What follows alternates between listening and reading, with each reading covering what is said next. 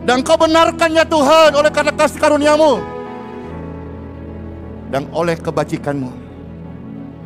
Kami juga boleh mendapat jamahan. Dalam Injil Matius pasal 11 ayat yang ke-28.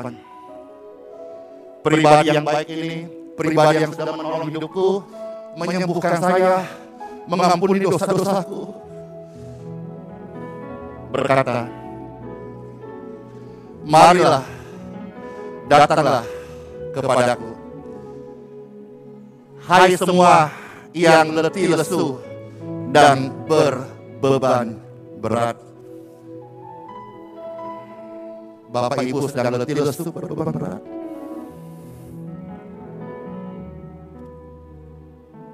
Ada pribadi yang bernama Yesus.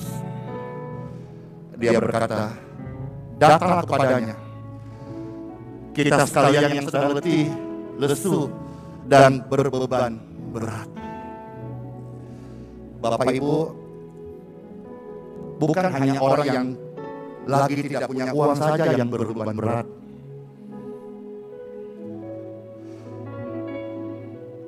Karena ternyata sekalipun orang memiliki harta yang berlimpah, bukanlah jaminan hidupnya ada kedamaian.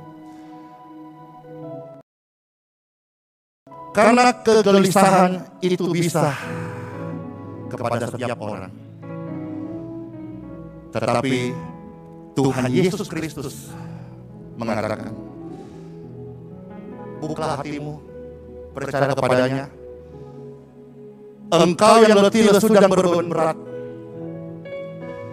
dia akan memberikan kelegaan kepadamu. Saya percaya Bapak Ibu sekalian, kata kelegaan ini bukan hanya menghilangkan rasa gelisah yang begitu lupa di hati Anda.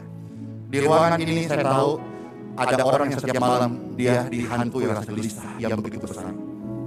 Entah karena konflik keluarga, konflik hati, konflik masa lalu, kegagalan kemarin, atau hal apa. Tapi sekarang ini, hadiratnya nyata. Maka di tempat mana kau duduk, kegelisahanmu sudah meninggalkan engkau. Dan saat ini, hatimu ada dalam sejahtera. Saya tidak menyampaikan pribadi yang mati dan tidak bangkit. Saya kasih tahu kepada saudara sekalian dan semua pemirsa sekalian yang menyaksikan tayangan ini. Tuhan Yesus, pribadi yang hidup, yang ketika saya saksikan kuasanya, kasihnya, maka secara real, kasihnya menjamah, menyentuh, mengubahkan, menolong, menguatkan setiap hati Bapak Ibu. Siapa di tempat ini yang mau berkata, yang rindu, memberikan hatinya kepada Tuhan Yesus.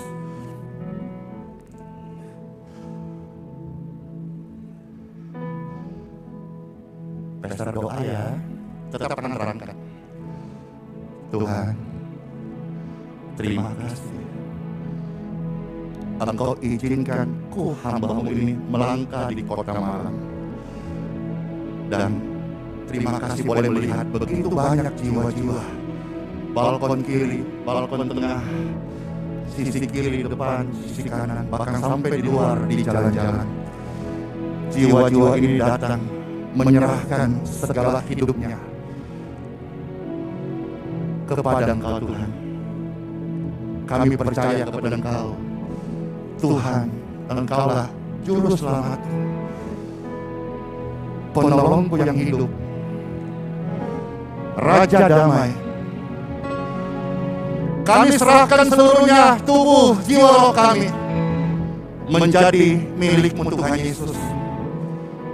Yang engkau sudah sucikan, sudah kuduskan, dan kau berikan urapanmu. Dan kau benarkannya Tuhan oleh kata kasih karuniamu.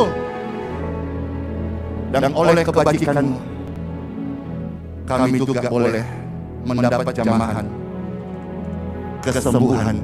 Seutuhnya, in Jesus name.